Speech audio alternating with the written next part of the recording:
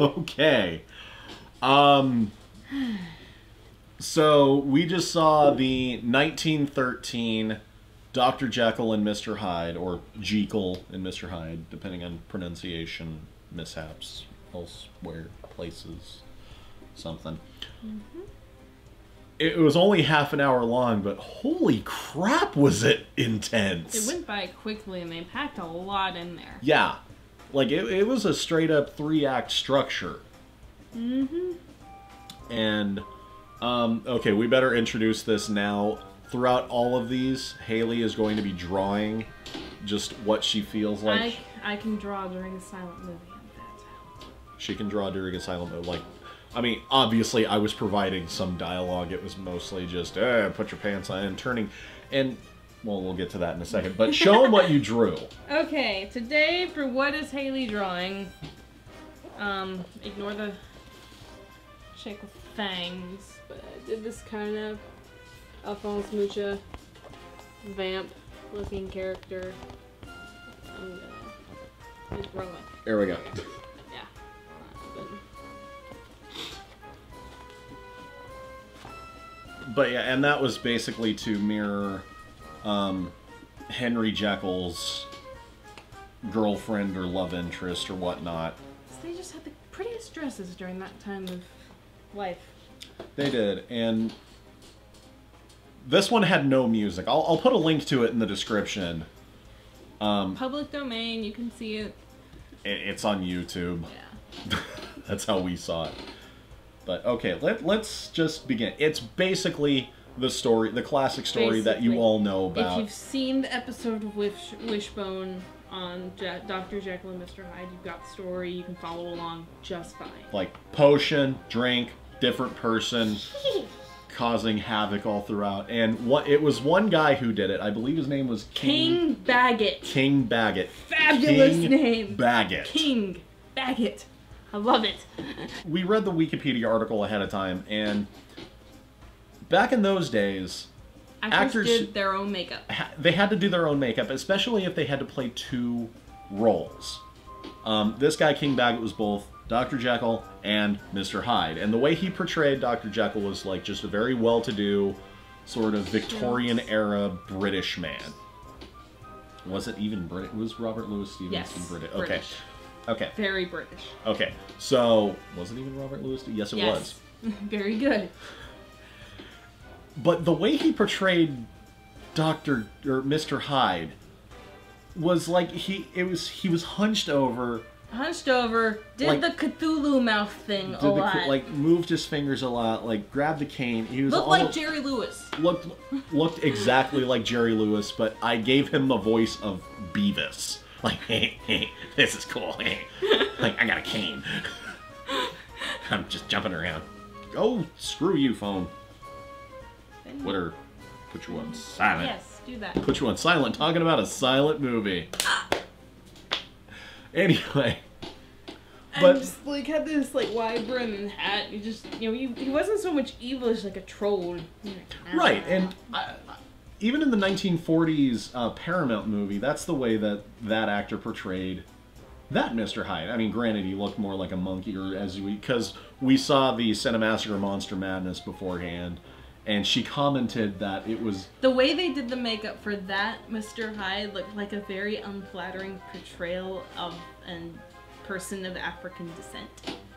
And when we watch that movie, I'll probably make some remarks about institutional racism and how they adapted it. honey, this Yes, is sir. universal. I, I know. We're not do well. Should we like intersperse like important horror movies? Know, that's important. I, I don't really want. I kind of want to stick to Universal. Okay, let, for now, let's. stick For to now, Universal. let's stick to But Universal. I, I, I will say that there is some very social Darwinist kind of overtones to, you know, and especially in the 40s, leading Oh, yeah, in, it was- leading ugh. into the World War or World War II.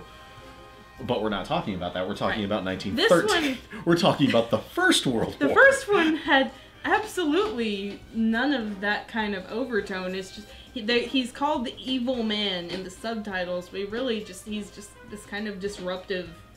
You know, Yeah, he's really all, just- all id, all animal instinct, and just kind of just got a, pretty much a troll. Basi- Bro. yeah, bas- basically a bro troll. but you know, he, you kind of get the sense that in this version, because all the other versions, it's always just like one or the other. Like Dr. Jekyll is Dr. Jekyll, Mr. Hyde is Mr. Hyde, There and is- none of the two intermingle at all. Even in like the Nutty Professor, going back to that. Um, But you get the feeling like Dr. Jekyll is trying to break out of Mr. Right, because there he one. sends notes to his servants, like like toward the end when he Mm-hmm. like crashes. It's really a tragic and intense ending with It this. really is. Um, Um, he he makes an antidote because like he takes the potion once, and then he starts like transforming spontaneously, like an epileptic fit, right. and and so he makes an antidote that he drinks as Mr. Hyde. Like he Mr. Hyde does this of his own volition, and you know it, the whole problem is he's running out of it. Um, but yeah, I I really love that touch that Mr. Mr. Jekyll, Doctor Jekyll, even though he's still very much the persona of Mr. Hyde. Hyde. He can like still communicate with the outside world, Mm-hmm. And- like take like get one of everything of all the chemists in London, get all of these from every chemist in London. Like, um, he, I think he even draws up his will yes. as no, no, no, no. He draws up his will as Doctor Dr. Jekyll, Jekyll. but leaves everything to Mister Hyde, which is which- interesting. which is I haven't, interesting. I haven't heard that. Before. Um, it, it feels like the the two personalities are a lot more meshed together, no matter who's more dominant at the moment. Yeah, because this one. because even Mister Hyde has his moments of charity. He beats up this kid, and then there's like a, this mob of people that basically mob just, like, ridicule, surrounds the kid. surrounding surrounds the kid, and just ridicule Mister Hyde. Just chases him down. and Chases him down, and this one dude forces him to go get like his penny no, bag. Dude, dude, you freaking You pay for this kid. You You're pay gonna for this kid's crap. doctor This is a kid, okay? This is a kid with one good leg. Like, and even and the subtitles even show that it says he like pays for his he injuries. pays for his in- Yeah. Mr. Hyde pays for his And injuries. It's interesting because later adaptations just make the man a monster. Um, I've seen um, a recording of the Broadway adaptation. He's like a murderer and rapist. And This this was the one with um, uh, David Hasselhoff, Yes. right? There are better recordings than the one with David Hasselhoff, but that's the one I saw. It, it wasn't it just called Jekyll and Hyde though? yeah. Yeah. I told her about like another adaptation in the '90s, Dr. Jekyll and Ms. Hyde. Because this could totally be a gay allegory if you squinted hard enough. Oh yeah, there is that. Like the the whole, the whole story by itself. Like even this one, because he's like attending to his patients because he's a doctor and says, "I can't make it. I can't go to the opera with you tonight, honey. Go with your father." And then the next scene after he's attending to some patients is making the Mr. Hyde brew. And you know, that, that kind of theme of suppression. Right. Um, I got like more of a mental illness theme from this particular adaptation. that well, that with Freud being the talk of the town, that was a pretty hot topic. Yeah. Like Because, dis- like know- in, like just like exploring the machinations of the mind.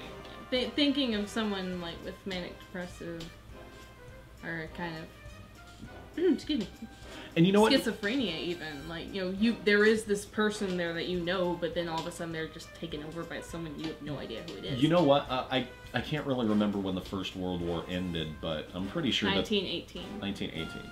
So 1913 is where the, world kind of, or when the world kind that's of. when the when the world World was at War- war but america wasn't Okay, but we were like we're not gonna be part of that y'all have your fun okay, because I was gonna try to make some sort of connection between no like. no the Ameri- okay. americans didn't have any like exposure to shell shock at that point so Yeah, because shell shock, even like what we know now is um, ptsd PTSD.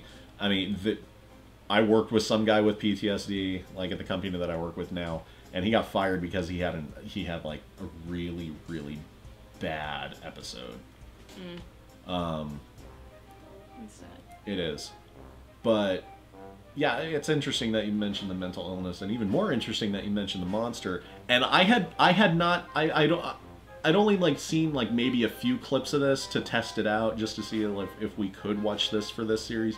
But I'm very glad that we did because it actually starts out one of the arch like one of the tropes of a monster movie, and that is an angry mob chasing down the monster.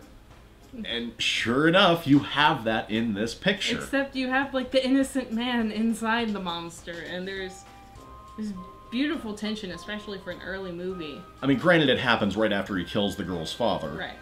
Spoiler alert. It's only 101 years old. pacing in a movie from 1913 is is is interesting.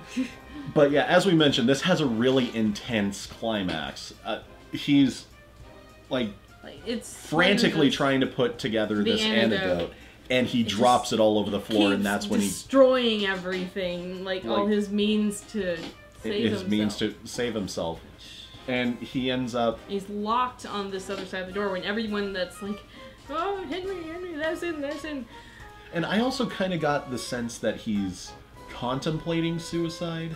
When he tears the curtain down, he's like, "Do I want to do this? No." And then the curtain just falls on top of him, but he like jumps on top of the table and falls off and dies Dies from the fall of a table. from a table. Okay, Table. let let A table that is about this table's height, which is approximately three and a half feet off the ground. right. I mean, granted, if you hit your head at the right angle, Right, you're, you're goner. but it's a table. Well. It was it was a pretty like silly fall too. It was just like Like, he's on the edge and then he falls off. So it's a- not- it's a fall that someone in a modern movie would get up from like that was stupid. Right. the, guy, the guys that come in and examine him just like, huh, Shit. put put like the covering over him.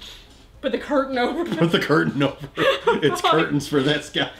Was that okay? Is that where the No, term that's- came from, or is that a overslang, sta- no. is that the stage term? I think that's a stage. Like, it's, it's stage curtains for this guy? Like, Okay. Curtain down. Yeah.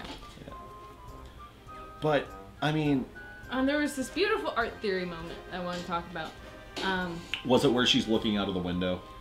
Oh, that was a beautiful like That was art a- moment. That was beautifully lit, and there's a scene by the fire. He's just contemplating his life, and it's just it's this gorgeous kind. Of, his face is in two planes because of the lighting. And you can't really tell because it's shot like it's a stage performance. Right. Back in the old days, that's what they did. I mean, they didn't really have like grandiose angles. And, They cinematography was not a thing. no, it Um, wasn't. it, it, was, was, just basically like you lift up the letter bo- letter hole in a door and you watch a play through it. That's what this movie looked like. So it's just like a square of mid-shot play. Um, but that's fine. They still got some great visuals out of it. They did, and you know, for a movie from 1913, it looked gorgeous. It, it really did. I mean, even even before the the horror genre was created, you can tell that they got some inspiration. That this is probably the type of movie that they got inspiration from. I mean, obviously Nosferatu was like a year out, Nosferatu was in the a year late before, teens. late teens. So yeah, Um, Nosferatu was 1922. Um, but yeah, you can tell this is where they got inspiration from, Mm-hmm. and obviously Phantom of the Opera would follow. But Um, like, there's this one moment where um, Jekyll is waking up from his bender, and it's like he's leaning on a desk with his face like this, and his legs are out, his body's turned this way, and I can tell you that is a direct reference to a very famous lithograph by Goya called "The Sleep of Reason Produces Monsters." And we're gonna put a little little version right here. or we can just, and we can talk over Yeah. it. And um, because in in the lithograph, there's like all these like owls and bats and night beasts coming out from behind the person sleeping, and it's the idea that when your logical mind is no longer in control, like monsters come out. And, and it's this old Rome, um, Enlightenment romanticist idea that there's this two sides to you. There's the logical side and there's the emotional side. And when one is not in control, the other one runs amok. Yeah. And And, that's, uh, and that's that the is theme of the movie. That's the theme That's- of the story. theme of the original. Um, also, another moment that I really liked was um, when he's explaining the process to one of his friends who's like convinced that Mr. Hyde is like a complete jackass, Different person. a completely different person. He's like, "Okay, let me show you. This is this is one of those moments where um, Dr. Jekyll is sort of seeping through. He's like, "Okay, let me show you," and takes it and like puts it together. See, I do this, and then takes it, turns around, turns like around, turns his back to the and camera. it, there was not a cut. There was no cut. cut. Transforms back into Dr. Jekyll. Like that is such a vaudeville thing. It is. It's like classic. Classic as a carousel. That's my new saying. But to wrap up, what? Wow. I, I was not expecting to be blown away by this. and it's not even technically Universal, it's just produced by Carl Laemmle, which in turn is, Is Universal. Universal. So, okay. Carl Laemmle after he moved to LA. After he moved to Universal City, which even wasn't Universal City, it was still mm-hmm. Hollywood. It was. It was the Valley, right over there, 30 minutes down that way. anyway, final thoughts. it was it was actually really fascinating Yeah. to see this kind of because it's like Even for a two reeler, even for a three reeler. yeah Yeah, because this was like a half hour long, so it was like a three reel movie. it was like the sen- all the sensibilities of Victorian theater, like bringing in Victorian and Edwardian theater. Um, a lot of the staging, a lot of the physical acting was very, very just theater in the turn of the century, and bringing it into very early film. Yeah. and just seeing that juxtaposition and watching just like lightning happen from these two things clashing because there were some moments where you could just you could just tell this was the start of something this wasn't fully formed in film as an art form but it was definitely the start of something Yeah, it, the medium was very young still. Like I was even telling her that they didn't even have lights. They had sun and moon. they literally had sun and moon. But okay, I think next time yeah, Universal started out as the Independent Moving Picture Company, IMP. So it technically wasn't Universal, but, But it it still was had Carl. Universal. It was. So yeah, next time we enter into the fray with um, the Mister Man of a Thousand Faces himself. Oh, this is gonna be Chaney. this is gonna be amazing. Hunchback in Notre Dame. You ready, honey? I'm ready. We're not gonna do it tonight, but I know. we're gonna. We're This going, is fun. This is fun. I like this. This is a fun activity. All right. Yay. Uh, Well, we're All gonna right. we're gonna Be sure We're to going to- subscribe and like and comment, please. We want to know your thoughts. We want to know what you thought. yeah. About Tell us if we're completely wrong and we shouldn't have even Or started this series to begin with. or you know that you like it and you things you thought about the movie that we probably didn't mention. Are we idiots? Or are we geniuses? Or are we just people? We're just talking among people. I like that. And and yeah, and hey, give me requests for what to draw next week. I'm on a Next am on a next Next time. time. Next time. We're not gonna do this every week. Are you insane? But it's fun. I know it's fun, but what? What? Well, give me suggestions for what to draw because I'm on a I'm on a vamp kick. You know, just like moody looking women in pretty dresses.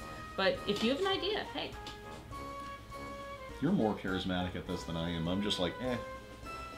Like I'm just along for the ride. I like talking about. I like talking to you, or talking with you about movies. me too. Okay. Well, speaking of fun activities, Go out and watch. go out and watch movies. some old movies because Yes. old movies need love too. Mhm. Classic as a carousel. I'm gonna keep saying that. You do. You do that. we'll see y'all next time.